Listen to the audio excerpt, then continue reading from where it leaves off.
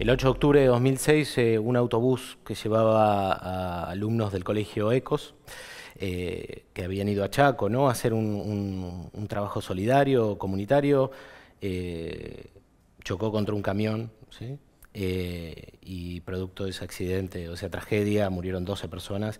Diego Molina, muchas gracias por venir. A ustedes. su ex esposa, Mariana Boyé, fue una de las víctimas. Eh, este domingo, Diego, eh, hay un evento ¿no? que, para conmemorar justamente aquel trágico hecho. Este domingo volvemos a hacer el Día del Estudiante Solidario, este domingo 8 de octubre, como hace 11 años todos los 8 de octubre estamos haciendo esta movida. Eh, en esta oportunidad en la Ciudad Cultural Conex, a partir de las 16 horas, con la presentación de varias bandas amigas y alguna que otra sorpresa eh, que va a estar llegando por ahí, pero los ravioles, superchería, el circo de Gerardo Ochman para los chicos, eh, la movida, los decadentes van a estar eh, participando una vez más del Día del Estudiante Solidario. Bien.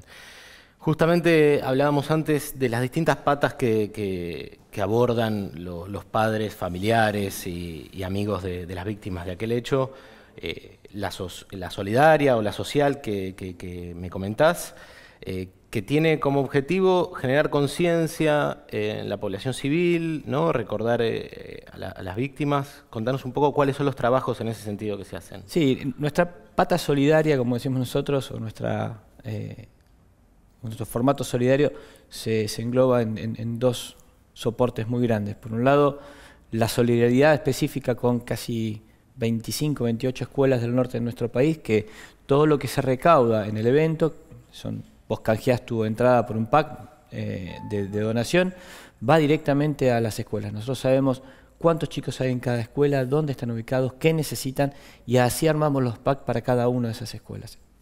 Desde ese punto es la solidaridad permanente eh, con todas estas instituciones del norte del país. Por el otro está la parte social, lo, educativo que nosotros hacemos, que tiene que ver a veces con charlas en escuelas, en empresas y demás, y otra tratando de generar un cambio cultural en toda la sociedad que tiene que ver específicamente con los malos hábitos que tenemos en cuanto a la seguridad vial. Desde no ponerse el cinturón, usar el teléfono cuando estamos manejando, no respetar las velocidades máximas, obviamente se consume alcohol y se maneja, y todo ese tipo de cosas, que los chicos no estén con las retenciones este, infantiles en los autos, eh, para que no les pase nada, ¿no? para cuidar la vida. Bueno, todo eso es un cambio cultural que tratamos de, llevarlo adelante. Bien. Eh, muchas veces se habla de, causales de muerte en Argentina, producto obviamente de enfermedades, ¿no? De, lo que por ahí se habla a veces como, como inseguridad, que sería la inseguridad ciudadana, en robos y Ahora, la inseguridad vial es la primera causa de muerte, ¿no? Es la primera causa de muerte en jóvenes menores de 30 años. Eh, son 5.200 muertes por año, 22 por día. Es un número altísimo, más aquellas personas que no fallecen y quedan con secuelas después de un siniestro vial. Lo cual eh, me parece que es un trabajo de todos, es responsabilidad de todos que esto eh, cambie de una vez por todas. Desde la parte eh, gubernamental con, leyes que penalicen fuertemente estos tipos de, hechos o siniestros y desde la parte social de nosotros de empezar a cumplir con estas cuestiones que lo único que hacen es salvar vidas, ¿no? Nada más que eso, es tan importante como eso. Bien, esa sería la pata en la sociedad civil, ¿no? Que estábamos diciendo esta cuestión de, de la ONG que se llama Conduciendo a Conciencia. Conduciendo a Conciencia.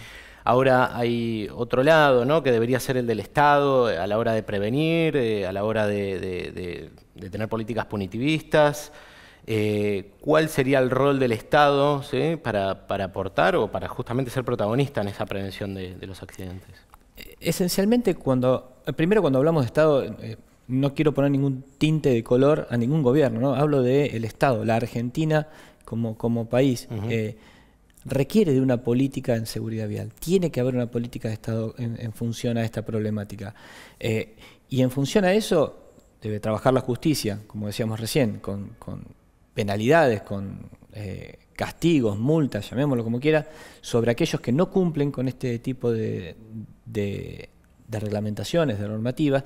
También tiene que haber una política en cuanto a eh, los controles en la ruta, tiene que haber una política en el mejoramiento de toda la, red de, carreteras que hay en el país.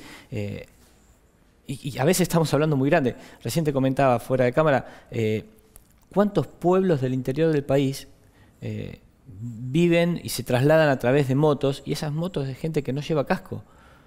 Y eso es tan grave, tan grave, como manejar a, a más de la velocidad máxima permitida. Entonces, en esas cosas tenemos que trabajar entre todos, el Estado y nosotros. O sea, desnaturalizar cosas que tenemos naturalizadas, ¿no? Porque a veces uno ve que andar sin casco, bueno, no pasa nada porque voy lento, estoy en una, en una calle de un pueblo, o bajar en la vereda con el cochecito adelante, ¿no? Uno ve a una madre. Eh, eh, yo creo que, en estos malos hábitos, nosotros los argentinos tenemos un, un gran problema. Esto es mi pensamiento, ¿no? Que a nosotros nunca nos va a pasar porque somos los reyes del manejo, porque somos los reyes del fútbol, porque somos los reyes de, todo, y, está esa supremacía argenta que está dando vueltas. Cuando entendemos que nos puede pasar, que nos puede pasar, ¿eh? a nosotros nos regaló una frase de Gaby Roca que es, todos fuimos, todos somos, todos podemos ser. Cuando uno entiende eso, empieza a ver la vida desde otro lugar. Y nosotros hoy apostamos a el compromiso con la vida con la tuya, con la de tu hermano, con la de tu mamá, con la mía, la de mi hijo, la de la señora que está cruzando y demás. Eh, me, tocó hablar en un evento que hacemos los 8 de agosto eh, homenajeando a Luis Espineta y se me ocurrió algo que, que, dos o tres me vinieron a decir, nada más lindo que llegar a tu casa a dar un abrazo a la persona que está esperando. Y eso tiene que ser cotidiano. Entonces, para darle un abrazo a esa persona todos los días, vos tenés que cuidarte y tenés que exigir que te cuiden también. Tan simple como eso. Em, justamente la causa prescribió, ¿no? Eh, estábamos hablando de, las cuestiones eh, legales, la causa por la tragedia de Ecos prescribió hace poco menos de dos años.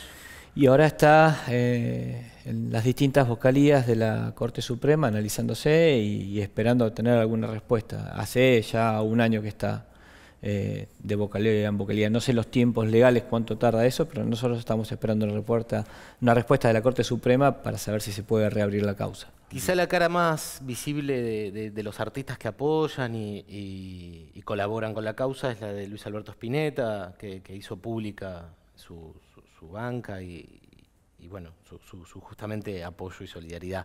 Pero contanos cuáles serían otros eh, artistas y personalidades que...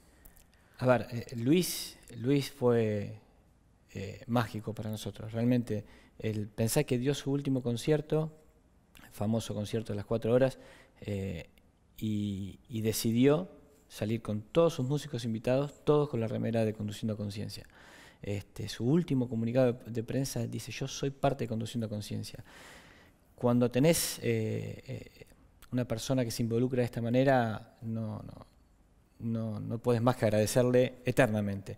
Pero junto con él, Javier Malosetti, eh, Ricardo Moyo, Divididos, eh, León Gieco, em, bueno, los decadentes que nos hacen la producción de cada uno de los eventos, Los Pericos, eh, Gardelitos, Ataque 77, han pasado El Cuelgue, La Movida, han pasado bandas infinidad de bandas y siempre con, la mejor, los tipitos, me estoy hablando de los tipitos, eh, siempre la mejor predisposición para, para trabajar con nosotros gratis. O sea, nadie ha cobrado un solo peso para, estar con nosotros. Vienen, ponen, ponen la camiseta, cantan, le regalan su arte a la gente ese día y la verdad que para nosotros es fundamental. Fundamental. Bueno, entonces el domingo, ¿a qué hora? ¿Dónde? Domingo 8 de octubre, Ciudad Cultural Conex. Cambiamos el pack desayuno que es un kilo de yerba mate, un kilo de azúcar, un kilo de leche en polvo por una entrada o el pack de desayuno que son 3 litros de leche, 2 latas de tomate, 2 kilos de polenta o arroz por una entrada cada uno. Y pueden presenciar todas